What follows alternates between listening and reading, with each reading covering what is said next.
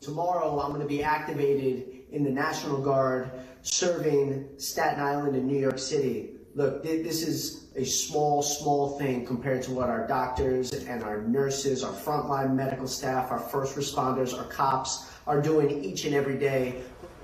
All right, that's Congressman Max Rose proving he's not just a politician and war hero. He's still an active member of the armed forces defending America right here in the five boroughs. Yeah, the Staten Island Democrat is deploying to the front lines of this coronavirus fight with the National Guard, and he's joining us live tonight. Congressman, thank you so much for your service yet again. Uh, so, talk a little bit about it. What exactly will you be doing with the National Guard once you deploy? Well, look, in any crisis, it's obviously something that evolves, and uh, I'm sure that what I do will evolve as well, but it, will be in some operational role helping to manage the uh, inevitable surge in COVID uh, patients that's coming to Staten Island's hospitals as well as hospitals throughout New York City.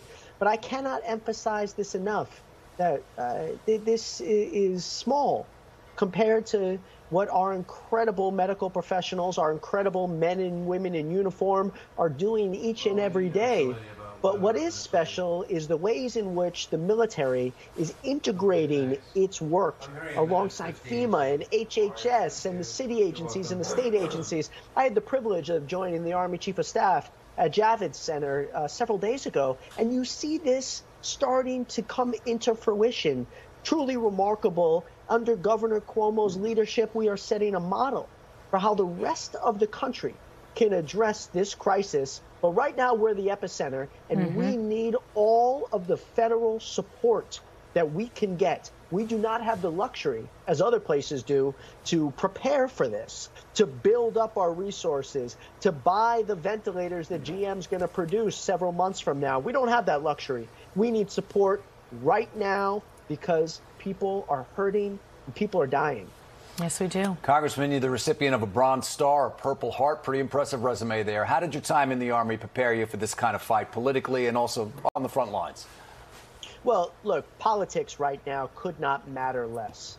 Uh, this is uh, a fight and a crisis of our lives that will define this generation. This is a virus that doesn't see race, creed, political affiliation, um, socioeconomic status, and it's one that we have got to unite around as Americans. I came into office as someone with both a military background as well as someone uh, with a health with healthcare experience, which I, I believe um, gives me a particular background to add some value here. But we are all in this together.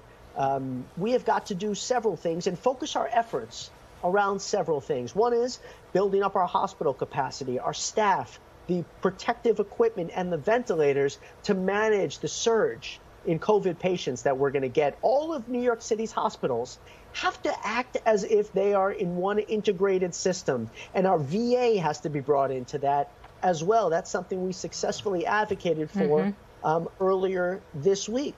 But after that, and we do have to plan for after this war, just as we have to plan for after a war abroad, we have to have an incredible surge in testing, an incredible surge in stationary hospital equipment that is ready at the reserve because we cannot allow for us to be in this situation again.